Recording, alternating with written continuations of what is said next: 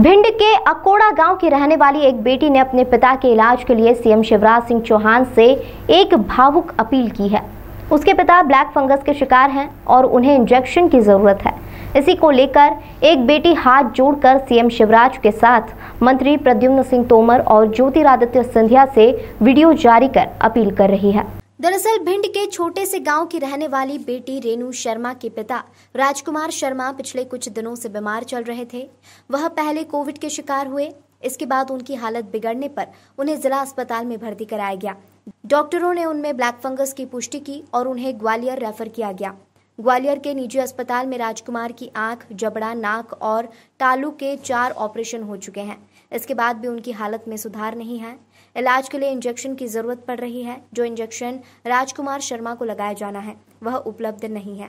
Injection के लिए बेटी सभी जगह गुहार लगा चुकी है, लेकिन उनकी मदद किसी ने नहीं की।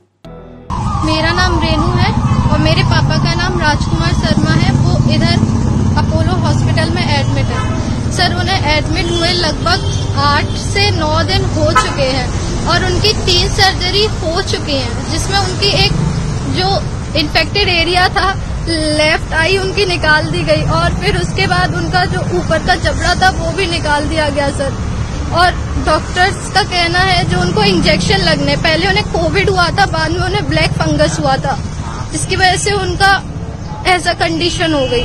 और डॉक्टर्स का कहना है कि जब तक इंजेक्शन नहीं मिलेंगे तब तक दिक्कत हो जाएगी। और फिर उसके बाद इंजेक्शन अवेलेबल नहीं है सर हॉस्पिटल में। मैंने बहुत लोगों से बात करी डीएम सर से करी डीआई से करी एसडीएम से करी लेकिन सर इंजेक्शन मुझे कहीं से नहीं मिले। वहीं देवास की एक बेटी ने भी सीएम शिवराज से ब्लैक फंगस के इंजेक्शन उपलब्ध कराने की अपील की है। मैं स्नेहा गुप्ता बॉम्बे हॉस्पिटल में एडमिट हूँ। मेरा शिवराज सिंह जी मामा जी से, नरेंद्र मोदी जी से, जो प्रधानमंत्री है, उनसे निवेदन है कि मेरे लिए इंजेक्शन्स जो है, वो आप अवेलेबल करवाइए।